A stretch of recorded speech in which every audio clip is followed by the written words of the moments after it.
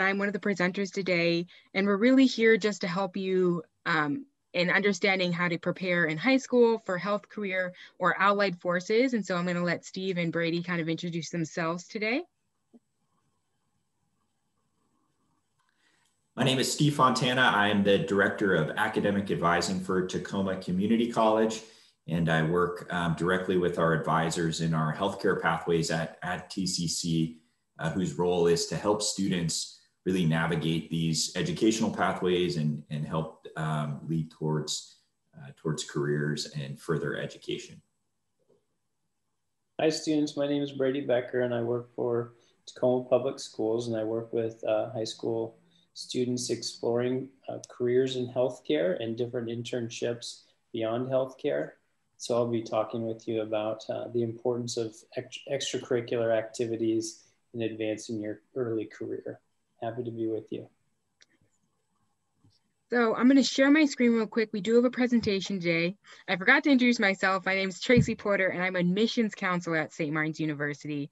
And I'm going to be talking about a lot of the classes or um, courses or programs you can take while you're in high school to help you get prepared for health careers. So I'm just going to share my screen. And can everyone see this so far? Yep, we can see it. All right. So it's the, the title of this segment, How to Prepare in High School for Careers in Healthcare.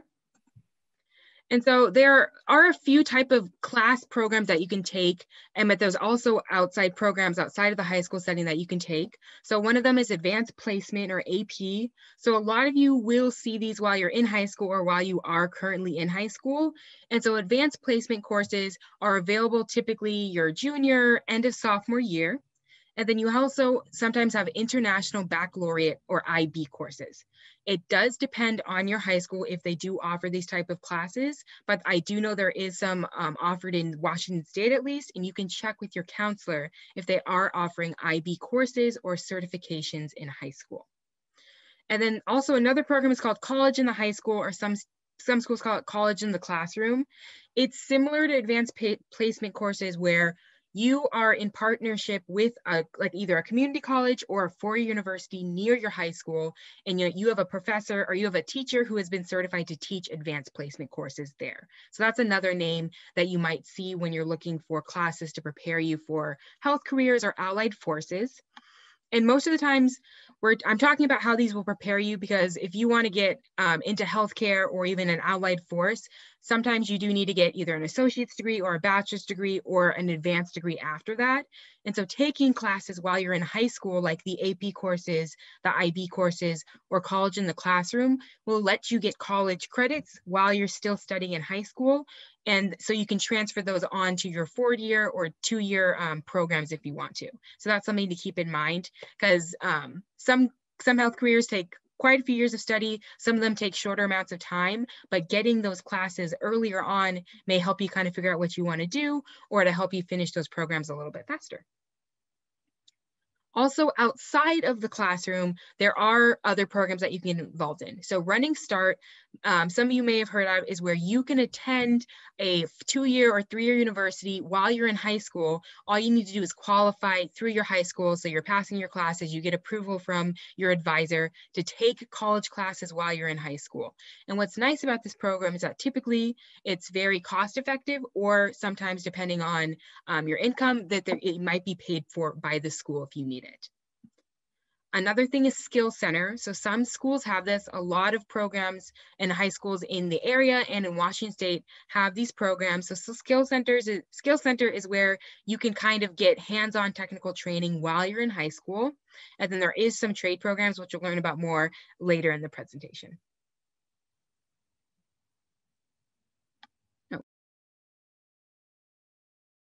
Thanks. Thanks, Tracy.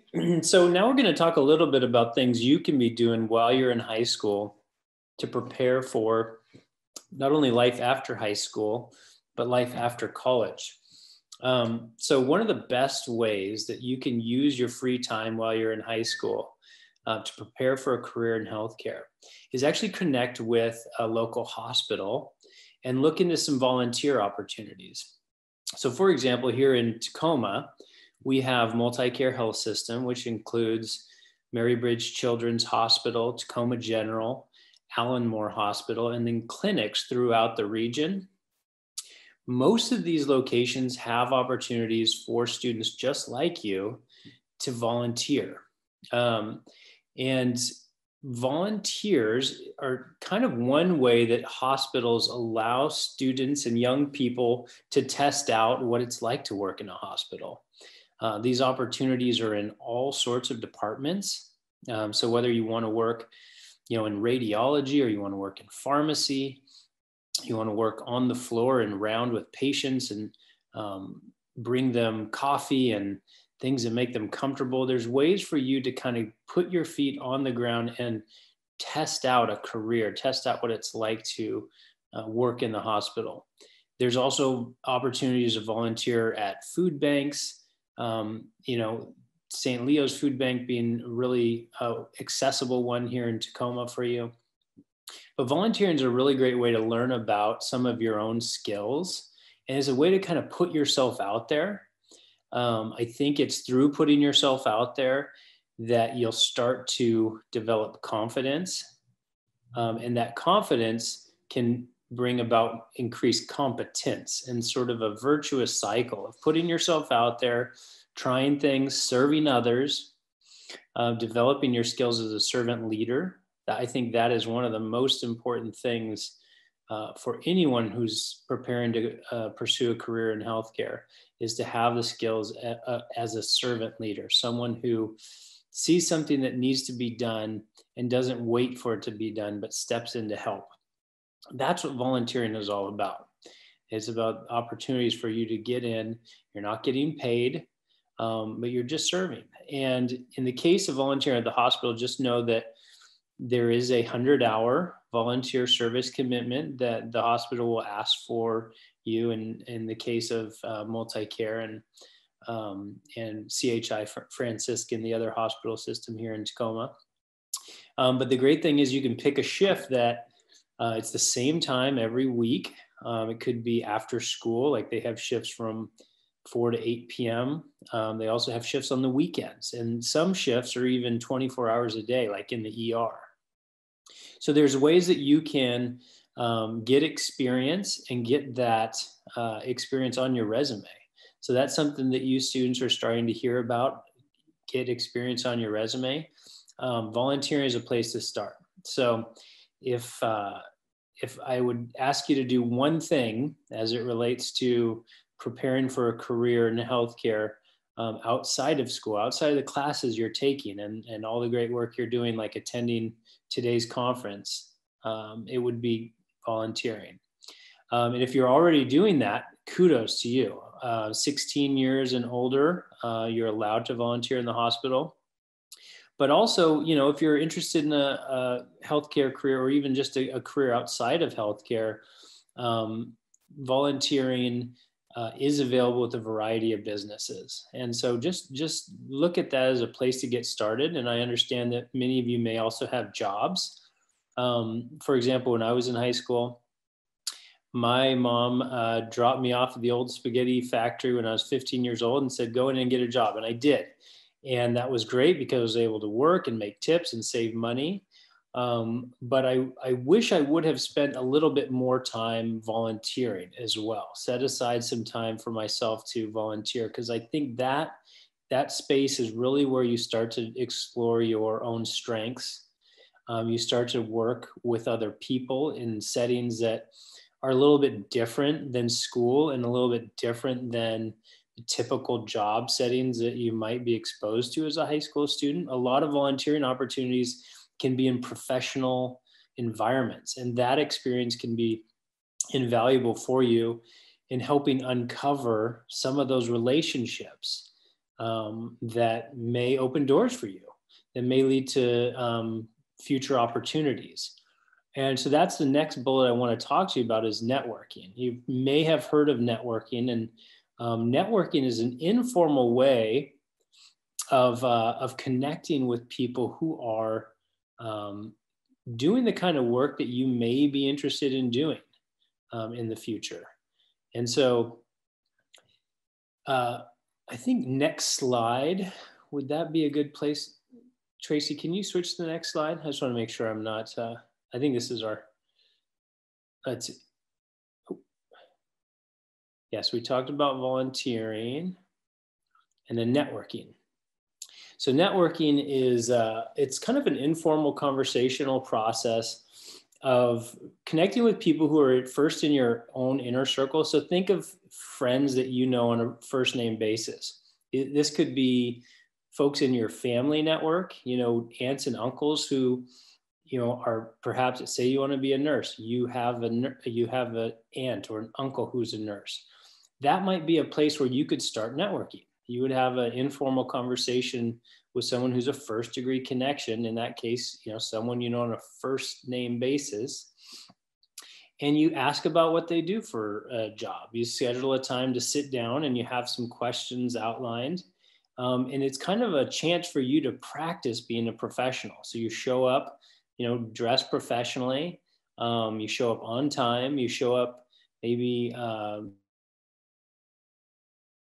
you bring coffee or have a virtual coffee. Um, but it's a chance for you just to kind of ask, hey, so what is it like? What's a day in the life of your work like? Um, how did you get to this job? Um, what recommendations would you have for me as someone who may be interested in pursuing this career? And then at the end of that conversation, there's a chance for those uh, those conversations to lead to follow up meetings with additional people. Those would be second degree connections.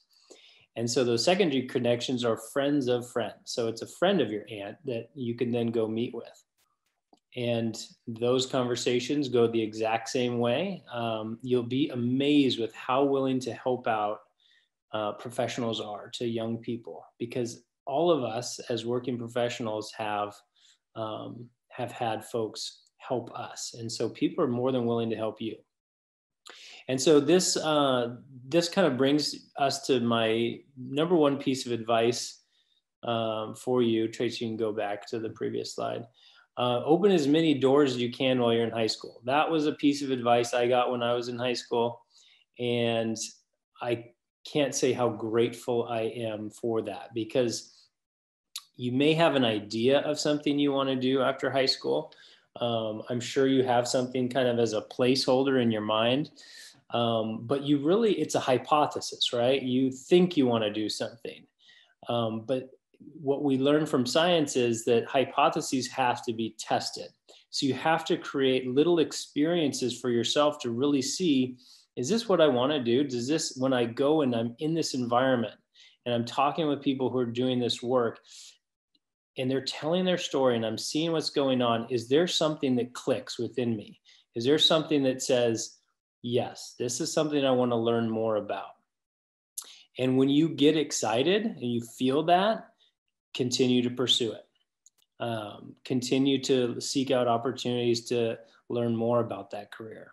And then ask folks that you've networked with for additional contacts and additional opportunities. And it seems kind of weird to be doing this as a high school student. I understand to reach out and ask for a coffee and have these conversations. You're totally putting yourself out there, and it's a little scary, right? You're you're scared you're going to get a little embarrassed um, or it's going to be a dead end. But I would say perhaps the biggest upside to networking, the biggest outcome of it, you guys, is that you'll learn to get comfort comfortable out of your comfort zone.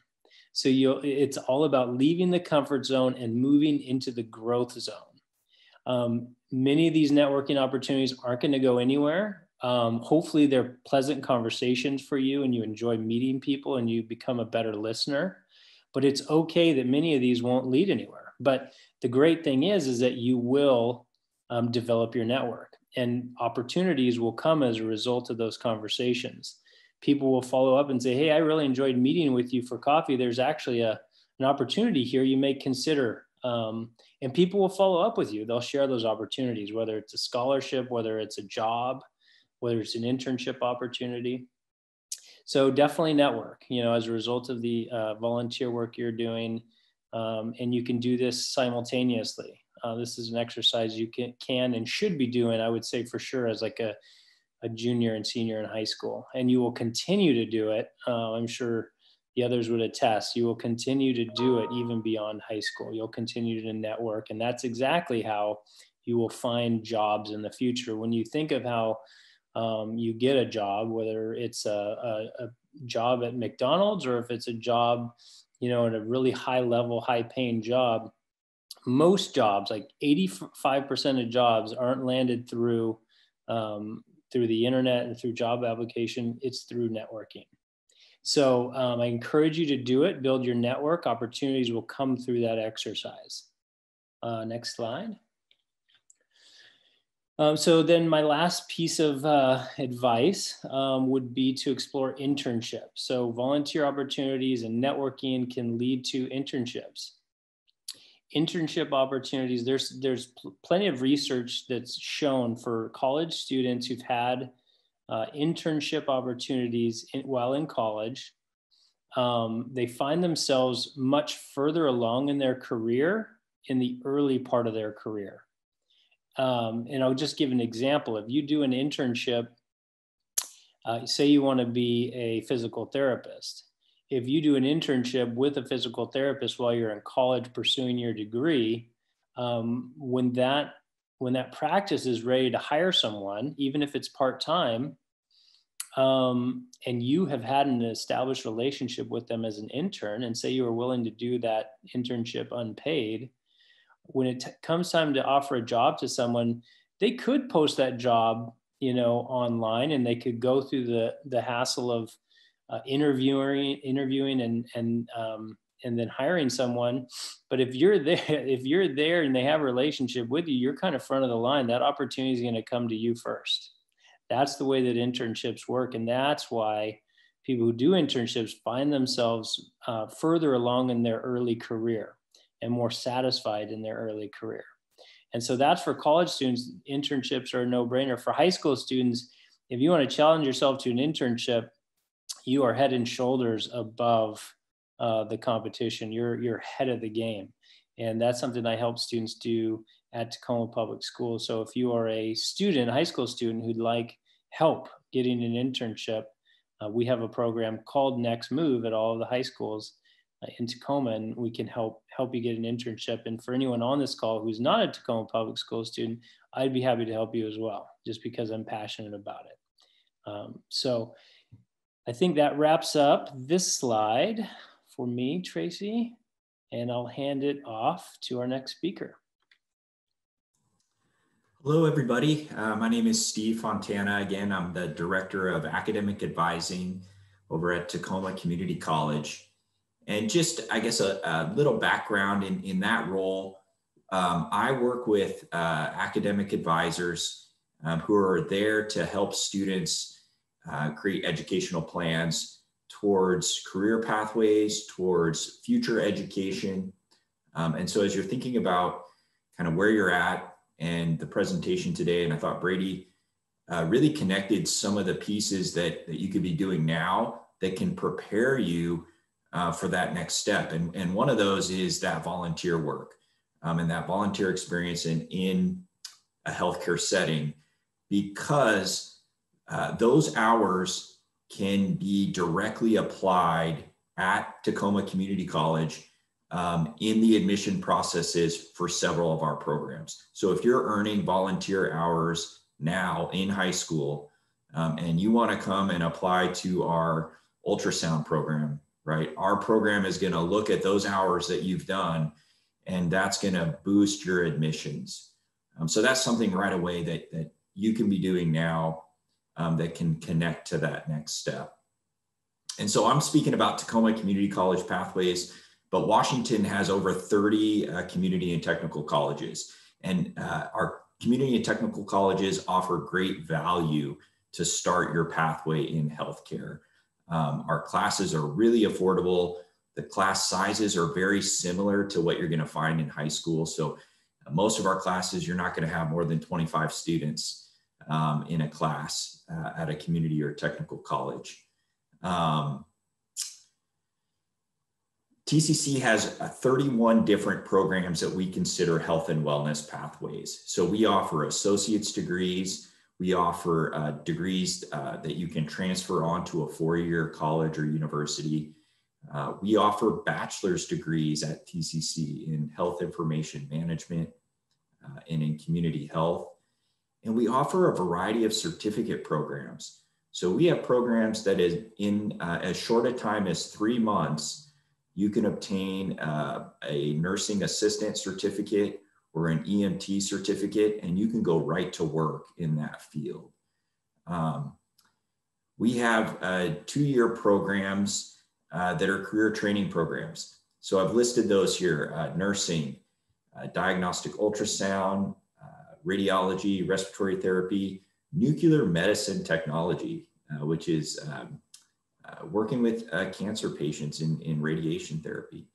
Um, EMT program, paramedic program, and then health information technology. So if you came to TCC and you completed any one of these programs, you are ready to get a job, right? So you come to TCC, finish this program, and you are ready for employment. Um, and, and really, what I want to say is that TCC is a great starting point um, to come explore uh, a variety of programs, right? And whether you end up transferring on to another college or um, completing one of our programs at TCC, we have advisors that, that will create individualized plans for each and every student um, and help you explore these, these pathways. Um, if we go on to the next slide, um, one of the things I like to talk with students about at TCC is uh, start uh, with the end in mind. So, um, and if you have an idea that you want to be a doctor, or you want to be a nurse, or you want to be a firefighter, um, and you tell that to an advisor, um, we start with the end in mind. So, for example, here you can see I've highlighted in yellow um, medical school, or working as a nurse, or working in health, public health. A lot of students tell us uh, where they want to end up and we work backwards and we say, okay, this is what you need to do to start. And then we help you map out that entire plan. So, for example, if a student tells us, I want to become a, a doctor, um, we would say, okay, at TCC, you would start with an associate's degree in biology uh, or an associate in science degree. We help you create a plan to, to complete that. Uh, and then we help you explore where to go next, right? I listed here UW Tacoma uh, because we have a unique partnership with UW Tacoma uh, here in, in, in Tacoma. And they have a biomedical sciences program, right? And so our advisors are not just helping you uh, at TCC, they're helping you map pathways forward. Um, second bullet point here, we have students that say, hey, I wanna, I wanna become a nurse. And there, there are several pathways to becoming a nurse. Um, and in fact, one of those pathways is right at TCC. You can come to TCC, complete requirements, apply to our nursing program. And when you graduate from TCC, you can go right out uh, and get a job working as a nurse. Uh, and then some students want to continue their education and obtain bachelor's degrees or higher. And we're here to help you explore that. Um, and then my last bullet point here is just to say that there are so many jobs in, in healthcare um, that are outside the clinical work, right? Where maybe that you are actually taking care of the patient. So there are jobs in healthcare administration, healthcare management, public health. Um, and, and these jobs um, certainly require a degree of math and science, uh, but also uh, classes in economics, in, um, in law, um, in communications, right? And so TCC, we have a strong program um, towards pathways in, in health administration. So working a, alongside doctors and nurses, working alongside the community, offering public health support. And so if you're somebody that um, has struggled in math and science, um, TCC is a great uh, chance to restart your engagement in those math and science coursework, right? Um, uh, but if you're somebody that's that maybe um, is I don't want to do the math and science, but I still want to work in healthcare, there are plenty of opportunities. So I really just encourage you to consider, um, you know, community and technical colleges as that next starting point. um, in, in a healthcare pathway. Um, and I guess if we end up with my last slide here is kind of uh, promoting Tacoma Community College, but uh, this is a slide, a picture from, from our healthcare center, the Harned uh, Center for Health Careers at TCC. We have a 70,000 square foot, a huge um, building at the school devoted just to our healthcare programs. Um, we have labs you can see right here where students uh, can go and, and participate in a clinical setting, right, right on campus um, and really learn those skills so that you go out and you um, uh, you can gain employment. Um, and and these are these are high paying jobs. They're rewarding uh, professions. Um, people that work in healthcare uh, really love what they do. You know, and and I think Brady spoke to that that servant leadership, right? Um, you know, you're out there serving uh, serving the community. Um, and so it's a lot of work, right? But there's a great deal of reward at the end um, in, in these professions. And, and that's really what I wanted to share with you today. Um, I'll post my contact uh, email here. If, students have any questions about TCC, now's a great time to be applying to TCC if you're thinking about this fall quarter, um, or if you still have a few years of high school left. Um, you know, uh, reach out to us and, and, and let us know how we can we can help.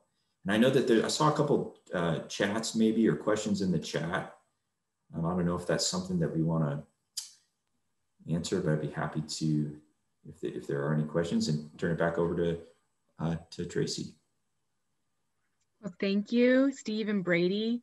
Great points. It all kind of connects if you're really trying to figure out if you want a health career or if you want to be in the allied forces. There are lots of pathways to it. There's a lot of resources and people available if you have questions about um, any of the pathways that are available. And there's plenty of resources for you to kind of ask questions, those job shadows, those volunteer opportunities, um, figuring out the classes that you need to take. There is plenty of people that want to make sure you're on the right track and you're you're kind of helping you figure out what career you want and what you want to do with your degree or even the technical or skills training that you you will be receiving that's why we're here and that's why there are plenty of people around you to kind of help you with it and then i did see some questions in the chat and I'm trying to find the first one actually. So there's many.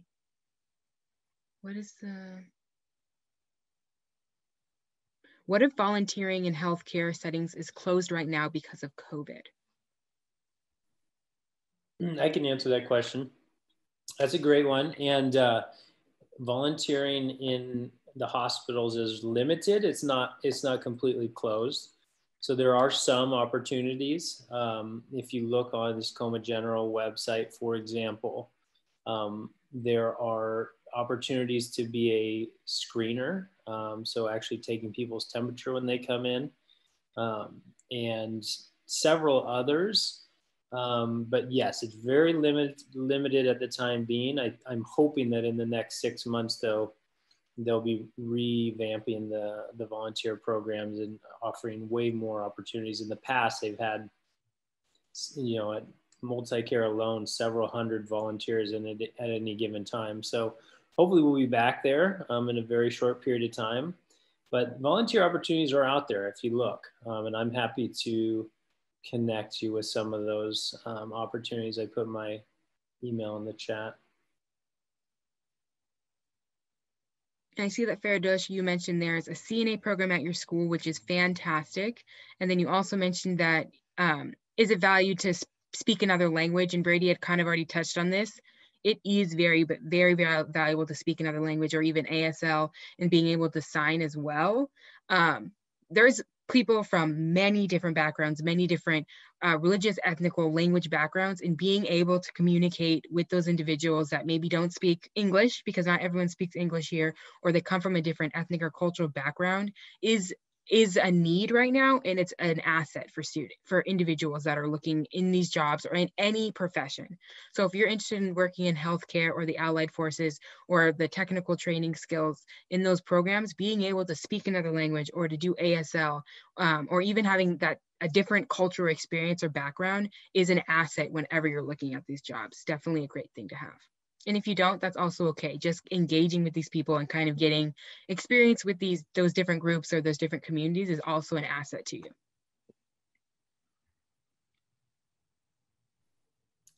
I see a question here that I can answer. So Ashley, I'm only a freshman. What do you recommend to help me start on the path to a healthcare career? I'm interested in becoming a dietitian. So Ashley, I'm assuming you're 14, 15 years old and good for you for, you know, thinking this early and wanting to explore that career. So a couple of things I talked about in the uh, presentation would be available to you. Um, so the networking and the volunteering would both be available to you. So I would recommend starting on those um, as soon as you're ready. And you could start even with, um, you know, your own people in your own circle, like your own doctor, um, your own dietitian, um, and even perhaps something connected to your school district, um, uh, or even working on a farm. So there's a number of different ways that you could start to explore that career path available to you as a freshman. Hope that helps. And Steve, I don't know if you can answer this question. One of them is, does being a CNA count towards volunteer hours towards med school or becoming a physician? Because I know that isn't there a CNA program at TCC or the ability to get certified through the school? Yeah, so I think uh, you know being a CNA that's that's like paid work. So they're not going to look at that as volunteer work, but they will look at it as like healthcare experience. So for example, you know I know a physician assistant school um, requires like several thousand hours of healthcare experience and being a cna can can you can use those hours chloe might be able to answer that question as well and thinking about medical school and the hours um, needed yeah when you're talking about getting getting clinical experiences for the purpose of medical school um, you have to look at them in a couple different tiers so whenever you're working in a paid position like cna that is considered the highest level if you will and then volunteering and then shadowing, right? And so, you know, as a pre-med undergraduate student, it's a career that you have to manage and you're not gonna have a lot of time. So knowing how to prioritize is going to be essential for you to have a successful um, resume and activities and the GPA and the MCAT score and everything in between. So when it comes to clinical experiences, yes, paid positions like CNA count at the highest level, and then come volunteering, and then come um, shadowing. Also on top of that, they're looking for um, variety of um, uh, exposure to different uh, different types of um, fields and specialties. So for example, rather than shadowing one OB-GYN for 300 hours, which one of my students have done before, um, you want to do 50 hours with a pediatrician, maybe um, you know, 100 hours of volunteering in ER, uh, 50 hours with um, oncologists and things like that. So variety and more um, responsibility slash paid positions um, in terms of clinical exposure is what you're looking for. And I don't know if anyone's answered in the chat. Juliet, is there any medical programs that this summer that you know of? And are you in, and I'm interested in attending? Uh, Steve, do you know any? I know UW has a summer program, but that's the only one I can think of. Yeah, you know, um, TCC has a summer CNA program, so certified nursing assistant. Um, but as as far as more like a more like a healthcare like educational program, yeah, University of Washington has um, that SHEP program. It's like a healthcare um, educational career programs. Um,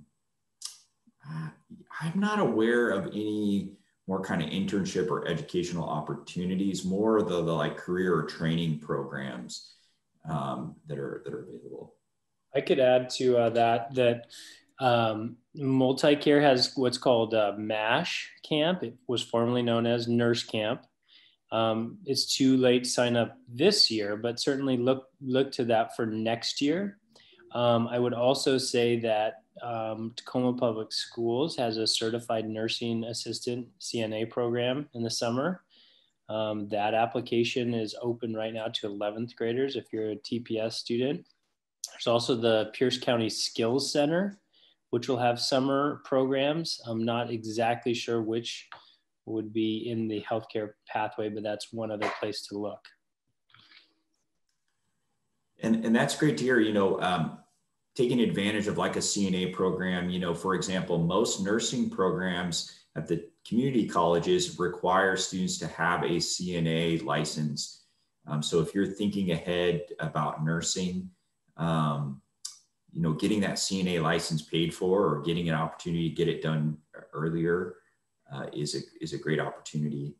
And I also saw several questions about, you know, entering a military service versus education. And, uh, you know, the experience that I have in working with students, um, TCC works with a lot of uh, veteran students, a lot of active duty military. And, and one uh, point, and Chloe might be able to speak to this too, is that the military often will pay for advanced degrees in, in healthcare careers. So if you have an associate's degree or a bachelor's degree completed, and let's say you want to become a doctor or you want to become a more advanced career, and you enter the service already having some level of education and you're intending to pursue that advanced degree, you tell the military, this is what I want to do. Um, I've seen them have programs where they will pay then for that advanced education, provided that you then serve for a certain period of time. So that might give some, some of you some perspective on that.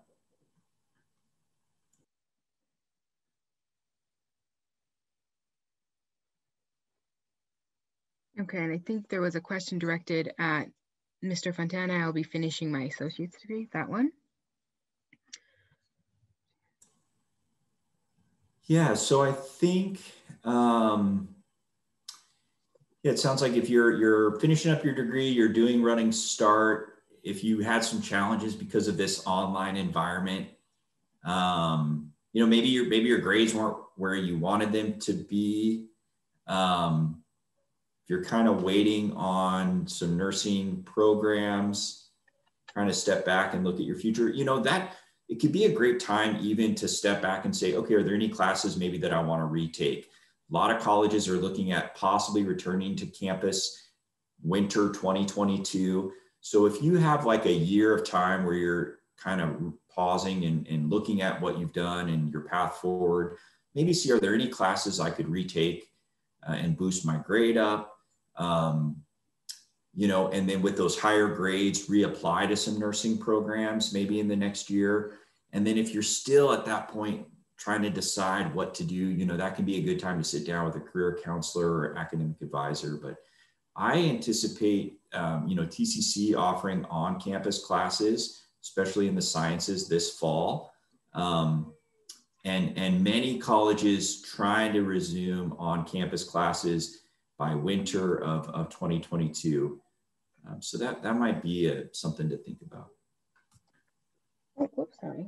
And one of the questions is, I've heard about being part of a research study would be beneficial, um, but I don't know much about research and what kind of ways would I benefit from assisting in a research study and how would I find opportunities to participate?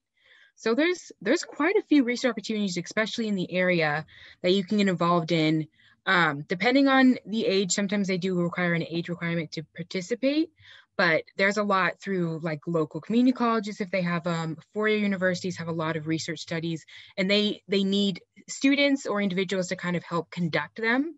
Um, and so if you're interested in that it's a great way to get experience in like the medical settings on what maybe they're studying. So if it's a study that's going to look at um, like the kidneys or something and so they need volunteers to help with like paperwork or even facilitating some of the needs of those of that clinical trial or something. It's a great way to get hands-on experience within these programs. And also another thing about research is that's another career pathway if you're interested in like the medical health sciences, that's another route to go. So like I, I studied at St. Martin's University for my undergraduate degree and I'm actually getting a graduate degree in biological sciences to conduct research in the medical field. So that's a way to go where you're still involved in the healthcare setting, but you aren't directly in that clinical care. And there's a lot of pathways where you can go. And that's, I did a research study and that's how it kind of helped me narrow down what I wanted to do. But research studies, there's a lot of clinical application where you can get that as well with either shadowing or if it's sometimes paid in research studies, um, maybe not the volunteer aspect, but it's great hands-on experience as well. And usually you can check with local clinics, hospitals, two-year universities and four-year universities because they always are kind of running different studies and research projects that are available.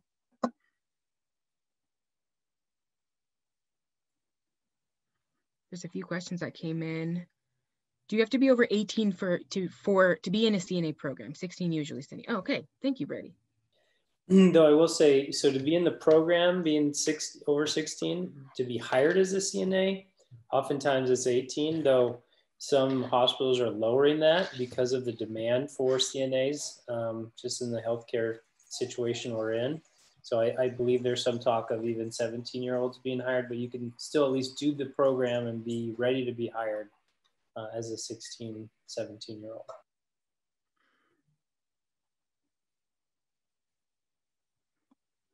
I saw a question there that if you graduate high school with the CNA but don't actually work as one, and then apply to for college, uh, yes, you. So, for example, our nursing program, we don't require that you work as a CNA. We just require that you have the license. Um, that may be different at other community and technical colleges, but but at TCC, you just need to obtain the license. You don't actually have to to have worked as one.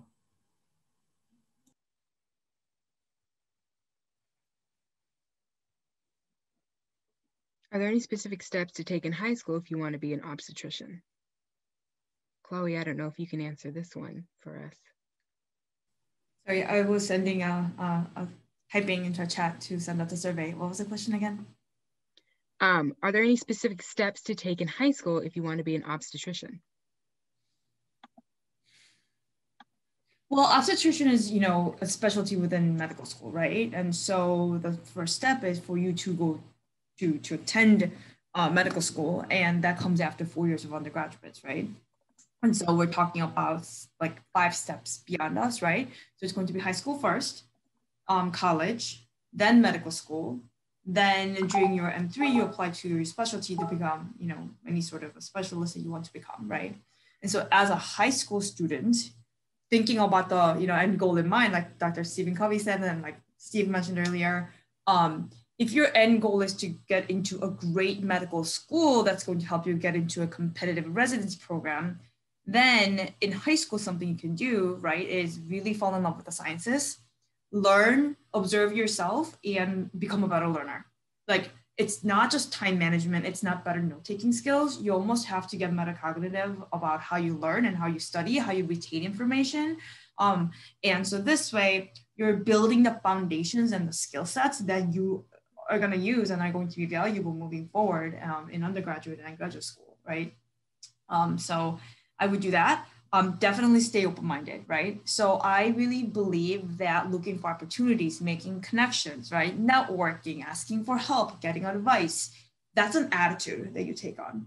And one of the attitudes that the medical school will look for is going to be, are you a learner? Are you teachable? Are you willing to learn, right? And so um, adapting that uh, attitude and, and asking for help and advice for people who are in the field and been there, done it, ready to share, give you advice and support you. I think that's also um, a great, you know, mindset to have. So specific things as a high school student, definitely study skills. Um, and when you're picking your undergraduate school, you have to keep in mind your end goal is not undergraduate school. If it's medical school, then you have to pick undergrad with the opportunities for clinical experiences, research opportunities. Um, people can write you great letters of recommendation. So um, you know, uh, opportunities where you can really connect with professors. So maybe those are the, a few things to keep in mind, especially as a high school student. Years to go. Thank you. Yeah.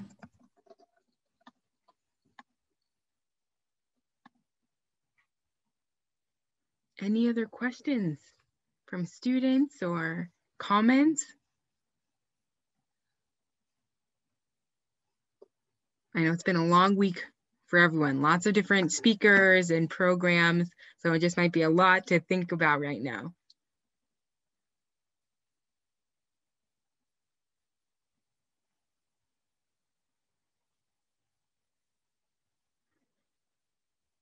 Um, I don't know if Steve or Brady can answer this one. Is it a good idea to do prerequisites through Running Start so I can apply to a nursing program sooner?